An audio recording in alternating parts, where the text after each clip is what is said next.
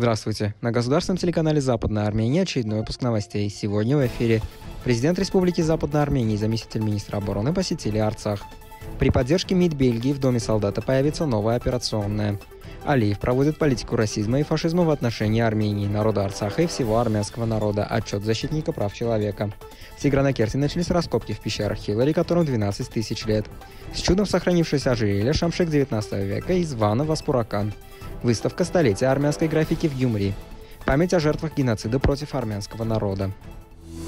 Президент Республики Западная Армения Армен Акабрамян и заместитель министра обороны Сурен Шаумян посетили Арцах, где почтили память наших героев, погибших в арцахских войнах. В рамках визита в ближайшее время состоится ряд встреч, о которых мы сообщим вам в следующих выпусках. При поддержке МИД Бельгии в Доме солдата появится новая операционная. Об этом сообщает 1 Брюссель выделил грант на строительство современного реабилитационного центра для солдат. Устная договоренность была достигнута в декабре между министрами иностранных дел Армении и Бельгии и сразу перешла в практическую стадию. Алиев ведет пропаганду ненависти и вражды к армянам на государственном уровне. Об этом заявил омбудсмен Арман Татоян, сославшись на заявление президента Азербайджана Ильхама Алиева. В заявлении омбудсмена в частности говорится Представляю вам цитаты из выступления Ильхама Алиева 13 апреля. У армян извращенная психология. Им нужен хороший врач. Я до армян из диаспоры. Они думают, что весь мир им должен. Самая большая опасность в Армении – это их психология. Это должно измениться, чтобы они поняли, какой трудный урок мы преподали им. Они кажутся самой большой нацией в мире, думают, что заслуживают всемирной поддержки. Они использовали ложную историю для получения личной и корпоративной выгоды. Теперь все понимают, что их армии не существует, у них 10 тысяч дезертиров. Это слова президента Азербайджана 13 апреля 2021 года. Его речь основана на ненависти и расизме, она фашистская. Вызывает вражду между Арменией, Арцахом и диаспорой. Вопреки вышеупомянутым заявлениям, правительство Республики Армения в любой период никогда не проводило государственной политики ненависти или вражды по отношению к азербайджанскому народу и простым людям, проживающим в Азербайджане. Защитник прав человека Республики Армения обращает внимание международных организаций, особенно тех, которые уполномочены защищать права человека, на эти выступления и политику президента Азербайджана. Раскопки начинаются в пещерах Хилади в провинции Арганти и Гранакерт Республики Западная Армения. Это место, где люди перешли от кочевого образа жизни к оседлому, от охоты к сельскому хозяйству. Место, где были заложены первые основы сельской жизни, которая имеет историю 12 тысяч лет. Тигранакерт – центр Верхней Месопотамии, а Месопотамия – важнейший центр в истории человеческой цивилизации.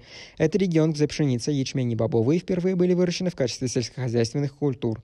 Согласно исследованиям Министерства культуры и туризма, раскопки продлятся 12 месяцев. В ближайшее время будут будут проведены работы по включению исторического объекта в список всемирного наследия ЮНЕСКО. Чудом сохранившееся ожерелье Шамшик 19 века из Вана Васпуракан.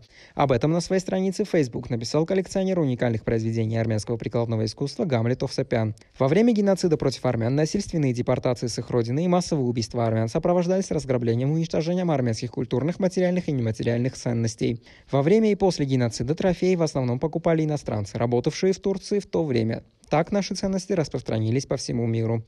Спустя столетия после геноцида украденные у нас предметы украшают всемирно известные музеи и частные коллекции. К сожалению, в нынешней Республике Армения у нас нет хотя бы одного музея, посвященного материальному и культурному наследию исторической родины, в особенности западная ее часть. Несмотря на то, что в архивах исторического музея Армении хранится огромное количество привезенных материалов в Армению иммигрантами. Будем надеяться, что однажды мы сможем по-настоящему оценить реальную ценность огромного культурного наследия, переданного нам нашими предками, и, наконец, осознать важность передачи того, что мы унаследовали будущим поколениям. Финальная экспозиция выставки «Столетие армянской графики» прошла 17 апреля 2021 года в Музее графики «Стиль» в Гюмри. Выставка была крупнейшей в своем роде в Армении. Было представлено около 400 работ, более 150 художников и скульпторов. Помимо живущих в Армении художников, были также армянские художники примерно из 15 стран мира. 15 мая в музее будет предоставлена новая выставка «Возвращение в будущее». Среди видных деятелей армянской классической графики, представленных на выставке, Акоп Коджиян, Мина Сафитисян, Гарзун, Григор Ханджан, Гуар Исаян, Акоп Анинакян, Анжела Саркисян, Камони Горян и другие. Стиль – первый и единственный графический музей в Армении. База данных музея содержит около 6 тысяч гравюр 17-21 веков, 300 графических газет армянских классиков и современных художников, а также около 350 афиш из советских фильмов. Коллекцию дополняет около 2000 советских коллекций стекла, единственные на простовецком пространстве. Вы можете прочитать полную версию статьи на сайте aravod.am. Уважаемые соотечественники, граждане Республики Западная Армения, представляем вам список мероприятий, посвященных памяти геноцида против армян 24 апреля. 24 апреля 2021 года в субботу состоятся следующие мероприятия с участием официальных лиц Республики Западная Армения. Париж в 11.00 собрание перед памятником Комитасу на площади Канады. Лион в 11.00 поминовение перед мемориалом на площади Антонина Понсе. Марсель в 11.00 место встречи перед памятником мать и ее четыре сына в мемориальном парке 12 квартала. Драгинян в 17.00 перед памятником Армении на Але Даземар. Мендельё в 11.00 поминовение перед Хачкаром на площади Армении. Антип в 15.00 поминовение перед памятником Маришу на проспекте 11 ноября. Ереван в 11.00 возле мемориала геноцида против армян Зицарнака Берта. Далее для вас ансамбль Маргаритнер Хайкон Тарин